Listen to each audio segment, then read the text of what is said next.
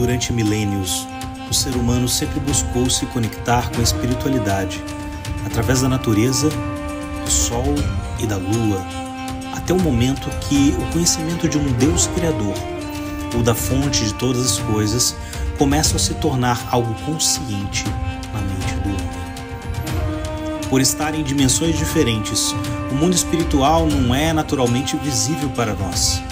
Por isso, Deus sempre se revelou de alguma forma através de seus profetas e mestres que trouxeram a mensagem do Pai Universal de formas distintas em momentos diferentes. O homem sempre será o canal para trazer a mensagem. Quando o próprio Criador deste universo se manifestou na Terra, houve um impacto espiritual e físico. Nos dias em que o maior império humano dominante reinava. A vinda de Jesus eleva a frequência e a consciência em todo o planeta. Jesus ensinou sobre um reino inabalável e eterno que pode habitar dentro do homem. Ele ensinou também que ele não está distante, mas dentro de nós. Porém, teríamos que reconhecer a sua voz. Ele nos ensinou sobre a vida plena, verdadeira paz, o verdadeiro amor. Ensinou sobre trabalhar em equipe, se colocar no lugar do outro e elevar a consciência humana. Durante os últimos milênios, tantas religiões e doutrinas foram criadas e tantas distorções da verdade se multiplicaram. A sabedoria de várias nações se reduziu em uma confusão e grande penúria. Um cenário de tantas distorções e confusão se apresenta na diversidade caótica de percepções e impressões de quem é Deus após a aurora da civilização, a raça humana desposou crenças mais místicas e simbólicas. Ao passo que se aproximando da maturidade, agora a humanidade está ficando pronta para o reconhecimento da verdadeira religião e mesmo para um começo da revelação da verdade em si. Para que isso fosse de alguma forma equilibrado neste cenário mundial, a vinda de mais um profeta não seria consistente.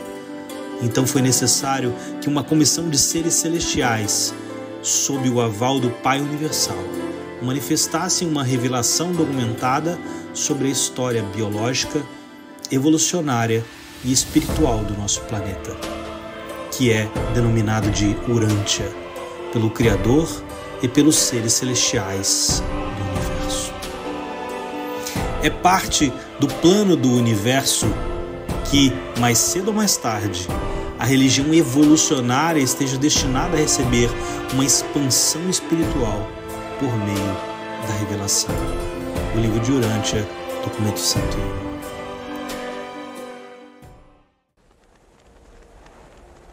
A religião revelada é o elemento unificador da existência humana. A revelação unifica a história, coordena a geologia, a astronomia, a física, a química, a biologia, a sociologia e a psicologia. O livro de Urântia, documento 102. Para isso, foi necessário mais uma vez escolher a geografia, o local e por quem deveria ser manifesto esse conhecimento foi escolhida a língua inglesa, e a cidade de Chicago, nos Estados Unidos, onde o famoso médico americano Dr. William Sadler, pai da psiquiatria americana, foi peça-chave para organizar todo o processo. Por volta de 1911, Dr. Sadler recebeu a visita de uma mulher que queria tratar o sono profundo de seu marido. E para descobrir que tipo de tratamento aplicar no paciente, Sadler o observou enquanto dormia. Este sujeito adormecido falava de coisas muito estranhas, com linguagens muito rebuscadas. Isso chamou a atenção do Dr. Sadler, que começou a pesquisar e a chamar uma comissão de outros médicos para observar este paciente.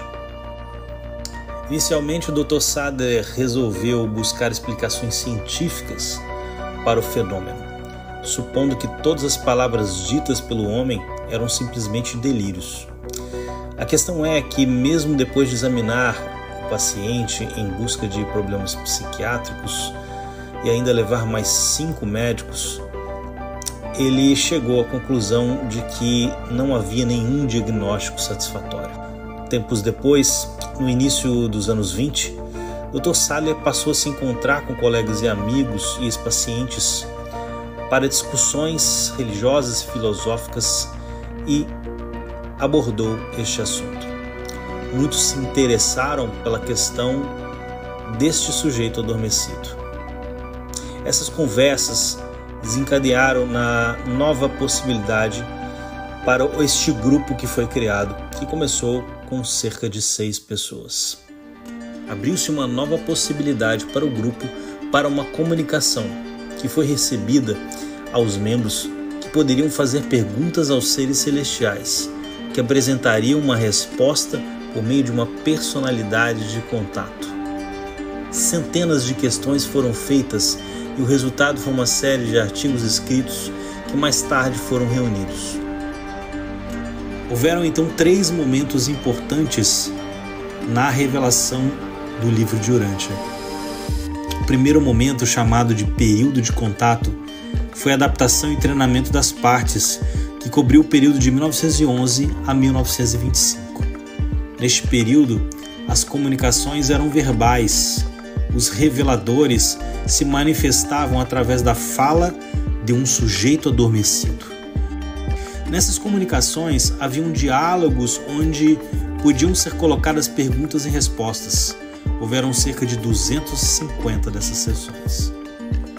O segundo momento então chamado de materialização das revelações escritas, iniciou-se a partir de 1925. A primeira materialização aconteceu na mesa desse sujeito adormecido, de uma forma totalmente diferenciada. Os documentos tinham cerca de 500 páginas, manuscritas e a lápis. A comissão de contato então foi instruída a datilografar os manuscritos e mantê-los em segredo, exceto para este fórum, que era um grupo de 70 integrantes, até que o livro fosse publicado. O original datilografado era disponibilizado para os membros do fórum na casa do Dr. Sadler.